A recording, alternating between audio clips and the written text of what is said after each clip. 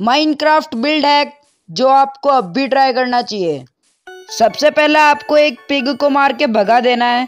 Then एक ही line में चार डार्क प्रिजमरीन ब्लॉक को रखना है। इसके बाद तीन स्लैब को कुछ इस तरीके से रखना है।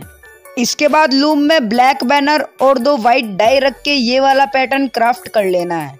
देन इसी बैनर के साथ इस बार ये वाला पैटर्न क्राफ्ट कर लेना है। देन ग्रीन डाई रख के ये वाला पैटर्न बना लेना है। इसके बाद डार्क प्रिज्मरीन के आगे एक ब्लॉक छोड़ के दो ब्लॉक डिक कर लेना है। देन उसमें एक आर्मर स्टैंड रख के उसको ड्रैगन हेड पहना देना है। हेड के पीछे एक स्लैब रख के उसको पिस्टन से पुश कर देना है। देन यहाँ का एक ब्लॉक तोड़ के इसमें बैनर को लगा देना है। देन एक स्टेयर को कुछ इस तरीके से लगा देना है। इसके बाद चार स्लैब को दोनों तरफ़ कुछ इस तरीके से लगाना है। फाइनल आपको ऊपर चार वाप्ड बटन को लगाना है। नाउ तुम लोग कमेंट करके बताओ कि ये क्या है।